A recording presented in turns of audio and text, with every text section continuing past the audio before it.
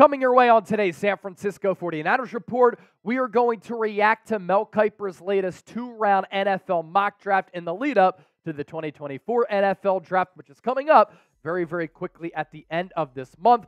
Just to look at how things kind of shake out and who the ESPN NFL draft analyst has the Niners taking. Before we dive into all of this, make sure you subscribe for our continued draft coverage on the San Francisco 49ers. And on draft night, and for all three days of the NFL draft, we will be live right here on this show. Every pick, every single round. It's going to be entertaining. It's going to be insightful. It's going to be fun. It's going to be a long weekend, but we're going to spend it together. Let's set the table first and take a look at who goes in the 11 picks prior to the Niners selection with the 31st overall pick. And I think this is good to do because it gives you an indication for which players could be on the board, which players might not be on the board. And a couple of players, obviously, who we've talked about a lot here on the show as potential targets and players of interest for San Francisco. So Mel Kiper has Graham Barton, interior offensive lineman out of Duke, going to the Pittsburgh Steelers with the 20th overall pick.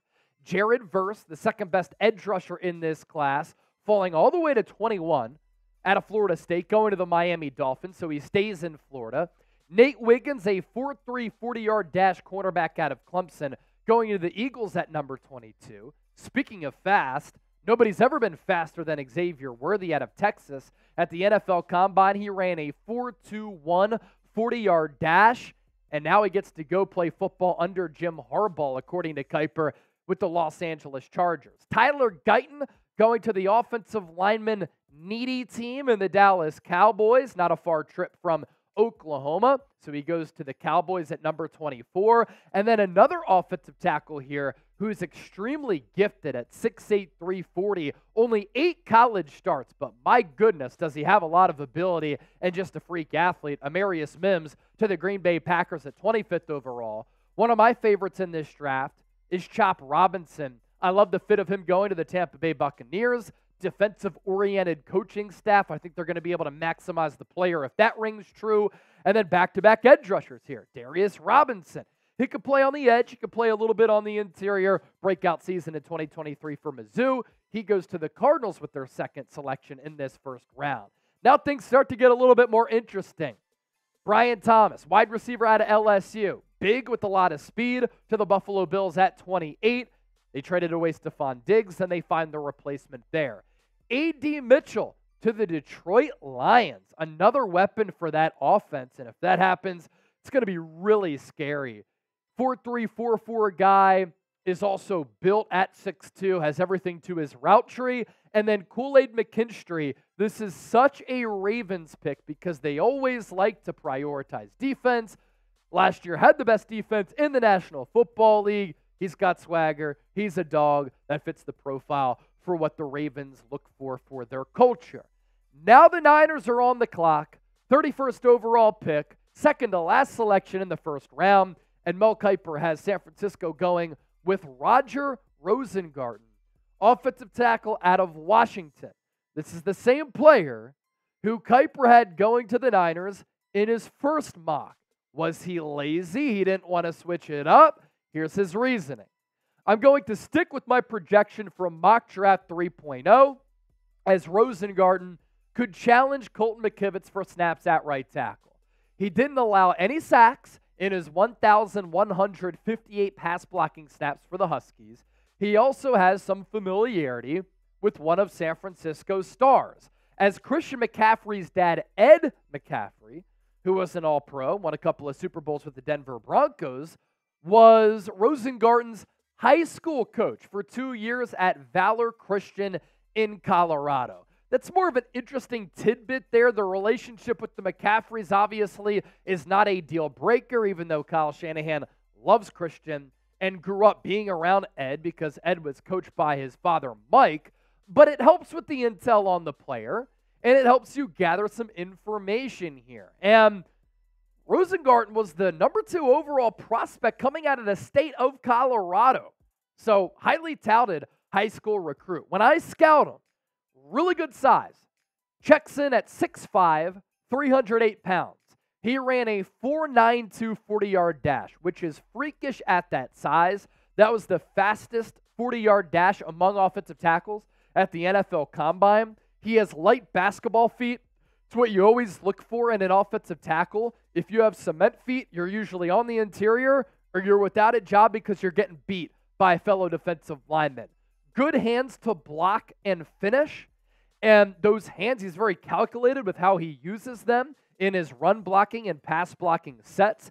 He's a good climber. What I mean by that, on some of these pull blocks, he can get out in space and get to that second and third level on the screen game. And obviously, Kyle Shanahan likes to do that within his offense. He's been a durable player, has started all 28 games over the last two years. The weaknesses here not a huge lower frame that can cause him to lose balance at times, that can cause him to get uprooted. And Mel Kiper said in his previous mock draft that if Rosengarten were to go back to Washington, he felt as though he could be a top 10 pick. At number 31, a lot of people think this is a reach because a lot of other NFL draft evaluators think that he should go somewhere in the 50s, 60s, maybe even in the 70s. So a developmental project, a little bit of a reach, but that's what the draft is. Oftentimes you're betting on upside, and this is what I'll tell you right now. If the Niners draft him, I still think he's better than Colton McKivitz. The Pro Football Focus numbers in 2023 993 snaps for a Huskies team that made it all the way to the national championship, pulled off an epic win over Texas in the college football playoff semifinal. Rosengarten with those no sacks allowed, 71.4 Pro Football Focus grade, 12 hurries, and four penalties. The athletic testing numbers, very solid. I don't really get why Math Bomb on the relative athletic score here has his height in red. I mean, my dude is 6'5. He is a little bit lighter at 308 pounds, but offensive linemen who were light and good athletes, you can build on that frame. He did bench 225 pounds 20 times. So sometimes, ideally, you look for offensive linemen to put up 25, 30 reps, but that's not an end all be all.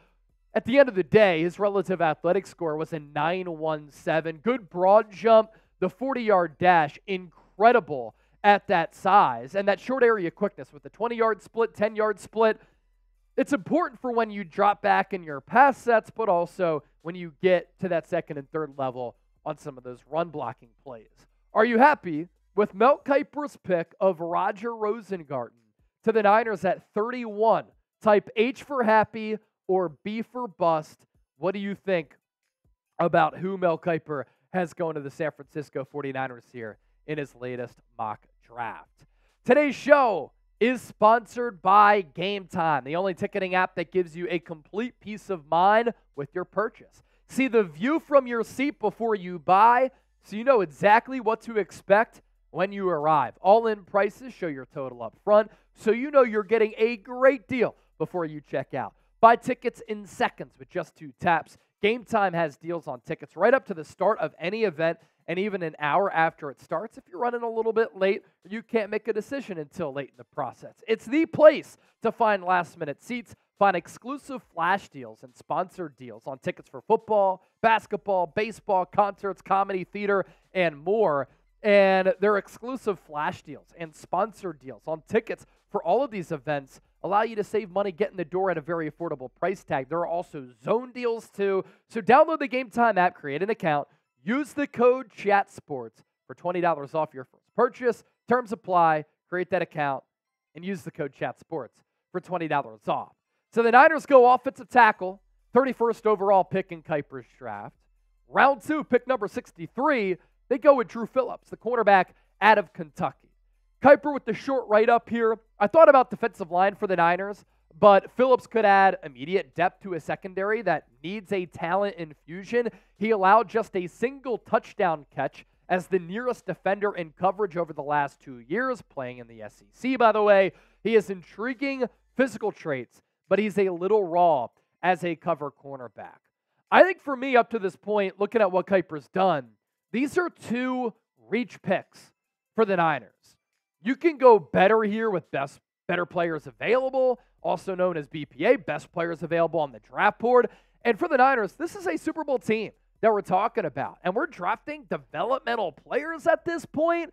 When I scout Phillips, again, he has upside. He has potential. He's 5'10, 190 pounds, a sub 4 5 40 yard dash, a 4'48 was his best time. He's a physical corner who can reroute wide receivers. He has played multiple techniques, which I'm sure the Niners would really like. He has good footwork and acceleration. I think he anticipates very, very well. And the Niners love corners who can anticipate an okay frame, but he's strong. He loves hitting the weight room, so you don't have to worry about the dedication.